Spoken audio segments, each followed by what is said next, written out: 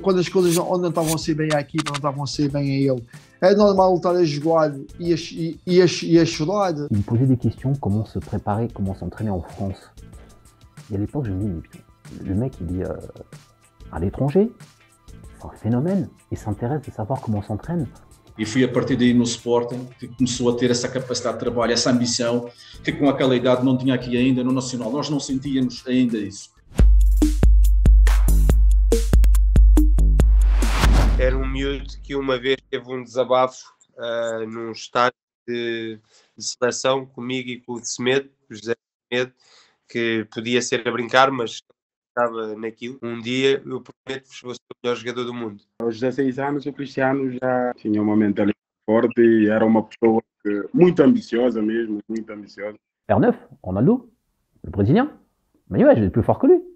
A gente tem aqui, aqui, na Madeira, teve sempre muitos atletas que iam daqui da Madeira e iam também para o continente e muitos deles depois acabavam de voltar, que não se adaptavam. E só há aqueles que são persistentes e têm uma capacidade de sofrimento grande, que é o caso dele, que consegue passar disso. E trabalhava muito, era profissional já.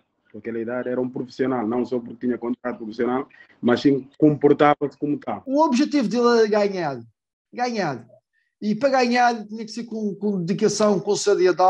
Il me posait des questions, comment se préparer, comment s'entraîner en France. Et à l'époque, je me dis, mais putain, le mec, il est euh, à l'étranger, c'est un phénomène, il s'intéresse de savoir comment on s'entraîne. Il disait, oui, vous faites des séances de, musculation, qu'est-ce que vous travaillez? Il s'intéressait, il posait des questions, il m'expliquait les exercices qu'il faisait, les, choses qu'il aimerait faire, et on voyait l'intérêt qu'il avait por trabalhar. Quando começou a ter umas aparições na equipagem, já se verificava que ele realmente trabalhava muito bem, não só a nível de treino, mas após treino e pré-treino, já era um miúdo muito focado naquilo que, naquilo, naquilo que tinha que fazer. Sei agora por histórias antigas que já na formação já era um miúdo que, que fazia horas extras, como se costuma dizer. Era um miúdo que hum, contagiava os outros com, com o talento, com a vontade de trabalhar. Não era só o trabalho, ele era muito exigente para com ele, era muito exigente para com os colegas dele. J'étais souvent avec Gaël Clichy, avec euh, Mathieu Debuchy, et on avait vu un, un, un entraînement du Portugal, et euh, on était resté ouais, une, une petite demi-heure, quelque chose comme ça. Moi, la première impression que, que, je me suis faite, je me suis dit, mais euh, il va à deux à l'heure. Il s'entraîne à deux à l'heure, il met pas d'intensité et tout. Et en fait, euh, quelques temps après, quelques minutes après, ils ont fait, en fait, ils ont fait un jeu et franchement, il, il driblait tout le monde. Quoi. Dans sa protection de balle, c'était incroyable. Euh, il allait plus vite que les autres, euh, plus puissant. Euh. Il va de l'avant. Il veut que tout le monde aille dans le bon sens. Quando as coisas não estavam a ser bem à equipa, estavam a ser bem a ele, é normal estar a jogar e a, e a, e a chorar. Quando às vezes nos treinos perdia uh, alguns dos, das competições que nós fazíamos nos treinos, uh, era capaz de abandonar o treino. Lá, lá depois era aquela paciência do treinador, lá ia buscar o Cristiano, e vamos, e ele acalmava e depois as coisas uh, acabavam por correr mais ou menos dentro, até ao fim, mas chegou a acontecer várias vezes. Ele já era, na altura ele já era o capitão da equipa do, do Nacional. Ele era extremamente competitivo. Por incrível que pareça, nós tínhamos ali dois ou três miúdos ao mesmo nível quase do Cristiano. E, e cobrava aos, aos, aos, colegas que achava, se ele achava que não, que não dava o, um máximo, ele, ele cobrava. Un repas comme ça à table, l'entraînement n'était pas terrible, l'équipe a perdu, etc. Donc lui, il est là, il déconne et tout. Et là, il y avait un joueur du Benfica, et euh, Charrier, ouais, il parlait fort. On entend plus que d'habitude. Ouais, j'ai marqué tant, il a fait super entraînement, d'accord et tout. Mais on entendait beaucoup.